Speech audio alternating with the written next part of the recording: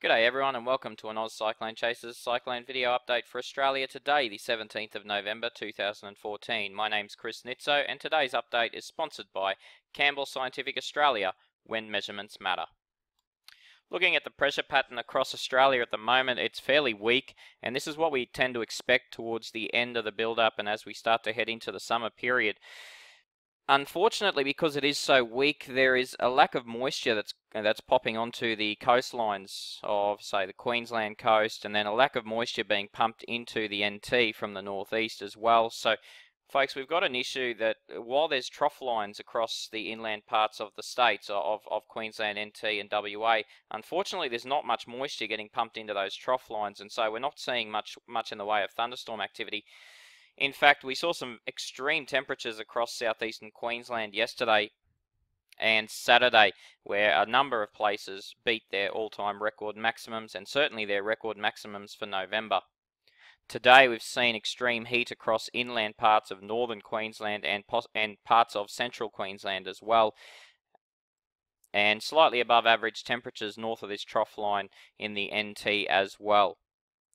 The one nice exception to this lack of moisture being pumped into the trough line is this area here in the far northern Kimberley region. That area has experienced a fair bit of thunderstorm activity in the past 48 hours. But even that activity will start to wane over the next few days. In terms of global cyclone activity, we actually now have our first southern hemisphere tropical cyclone. Tropical cyclone Adjali is the first one for the 2014-2015 season in our hemisphere.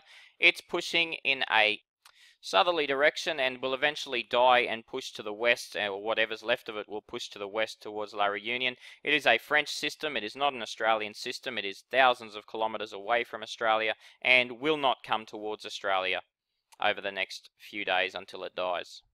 In terms of its intensity, nothing drastic and dramatic here. We're talking about a Category 2 possibility there.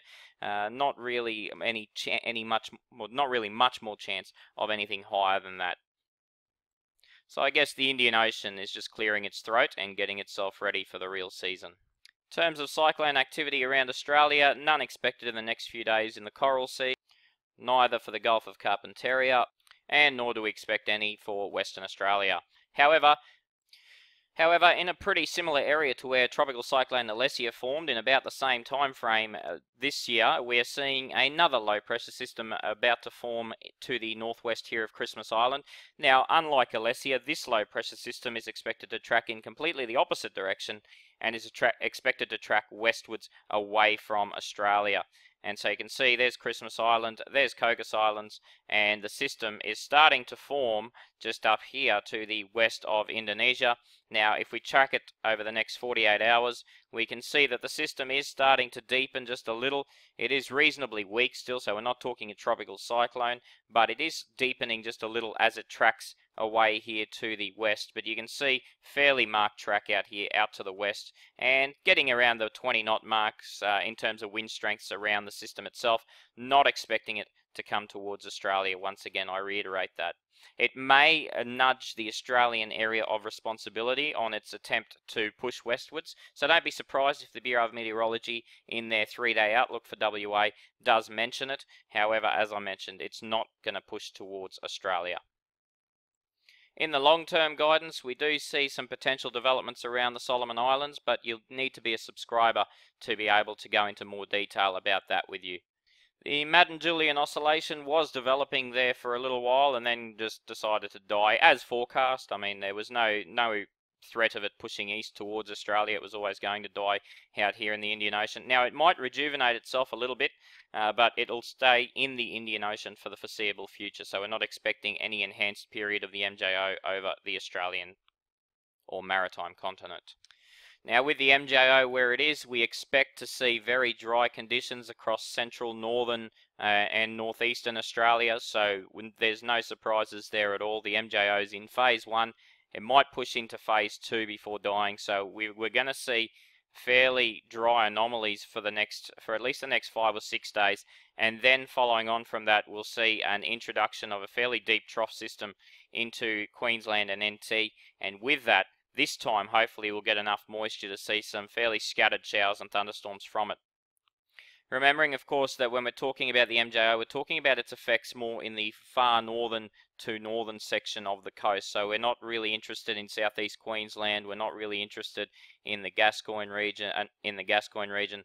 Uh, so we're, we're really more interested in this far northern Kimberley, NT, uh, Townsville, Cairns, that sort of area, Torres Straits, that's the area that we're focusing in on with the MJO. So just because I'm saying there's not, it's going to wind down for the next six days and you get a storm in southeast Queensland, that's not us being wrong. That's us uh, not paying any attention to this region because the MJO has very little effect in this region. For most of the nation tomorrow, we're seeing a very, uh, very, very boring and benign weather pattern, except for maybe the North Kimberley and the interior parts of WA, which are going to see some fairly uh, scattered showers and thunderstorms in that region, particularly near the coast. But the NT, you're going to see below average storm activity. Queensland, except for the southeastern parts of the state, you're not going to see too much in the way of rainfall. However, there might be some really good thunderstorms embedded with this lot in southeast Queensland. So be aware of that on Tuesday. Wednesday, we could be seeing some fairly scattered activity here across the southeast. Uh, and then Thursday that activity starts to decrease but once again severe storms possible. Also the North Kimberley activity starts to decrease as well. It becomes more isolated on Wednesday and Thursday and the NT almost devoid of thunderstorm activity which is just amazing for that part of the world this time of year. On Friday, the thunderstorms start to return to the NT and we start to see an increase once again in activity over the Kimberley. And once again, we start to see what will hopefully become a fairly strong trough system across Queensland over the next, or from the 21st through to about the 30th or the 1st of December. We could be looking at a fairly strong trough system here, and hopefully that will dump a fair, fair few showers and storms and hopefully a fair bit of rain with that. But that will be the start of it there. You can start to see these splotches across inland parts of Queensland. That's the start of that uh, deep trough system. We'll talk more about that deep trough system in our state update for subscribers tomorrow. Now, in the future four days, so the four to eight day period, once again, we see storms returning to the NT. We see good thunderstorm activity returning to the North Kimberley and we see that trough system. Look at this, the amount of rain it's creating over inland parts of the country.